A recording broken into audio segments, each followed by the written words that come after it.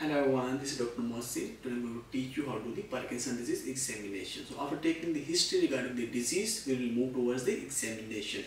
So what we will be doing, we'll be looking at the patient, we'll ask him to write something on the paper, then ask him to make few movements, checking the tone and ask him to walk. Alright, so after taking the history, we'll move towards the examination. Okay James, thank you so much for asking questions. Now we'll have to examine you. What are we doing? I'll be taking your observations and I would like, also like to examine you. I'll be looking at you and I'll be looking at your hands and face as well. Alright, then I will be asking you to make few movements after me. Alright, then I'll be moving your arm in different directions. Alright, and I will also uh, ask you to write something on the paper. And last thing, I will ask you to move.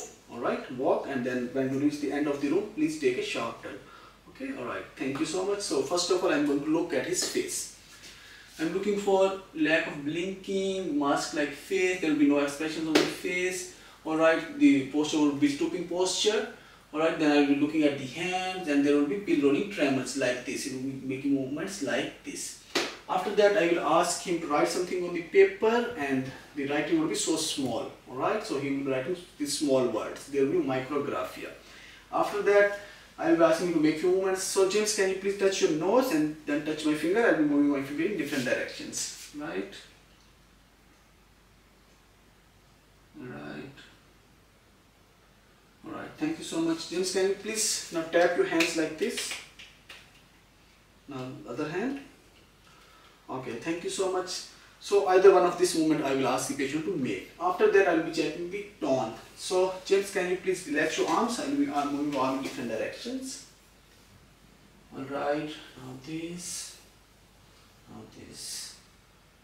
Alright, thank you so much. So in Parkinson, there will be increased stiffness. Alright, and here we're checking for the cogwheel rigidity and lead pipe rigidity.